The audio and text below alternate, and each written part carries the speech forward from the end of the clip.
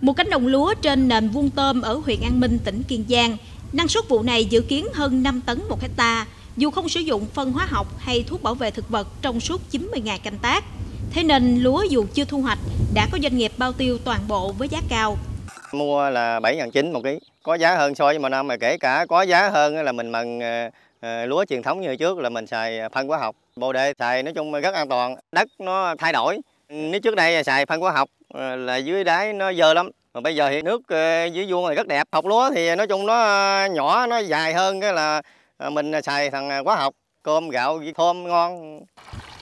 Việc sử dụng công nghệ sinh học chỉ 4 lần cho một vụ lúa đã giúp anh Sữa tiết kiệm đến 50% chi phí so với sử dụng phân thuốc trước đây.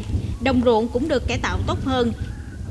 Không chỉ tại Kiên Giang, trên các cánh đồng lúa đặc sản trồng theo hướng hữu cơ ở đồng bằng sông Cửu Long, giờ không còn tình trạng vỏ chai thuốc hóa học tràn lan như trước.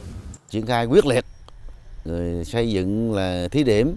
Ờ, sau đó nếu như mà đồng lúa tôm bạc liêu thì ờ, tôm lúa thì chúng tôi sẽ đại trà nhân rộng cái mô hình này ra để mà cho bà con có đạt năng suất cao hơn, góp phần tăng thu nhập của bà con. Tại đồng bằng sông Cửu Long, mô hình lúa tôm đang mang lại hiệu quả kinh tế khá cao, từ 60 đến 70 triệu đồng một hecta một năm.